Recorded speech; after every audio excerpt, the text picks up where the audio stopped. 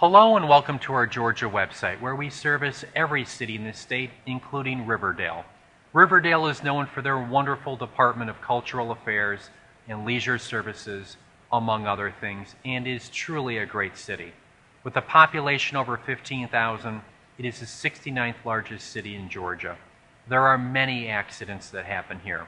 If you have been injured in Riverdale or in any city in the state of Georgia, call the local number below. We handle a wide variety of cases, including car wrecks, work injuries, and Social Security disability cases, just to name a few. You will get a free consultation, and in almost every case, we can send an investigator to your home the same day. Thank you for your interest. We look forward to working hard to get you the money you deserve.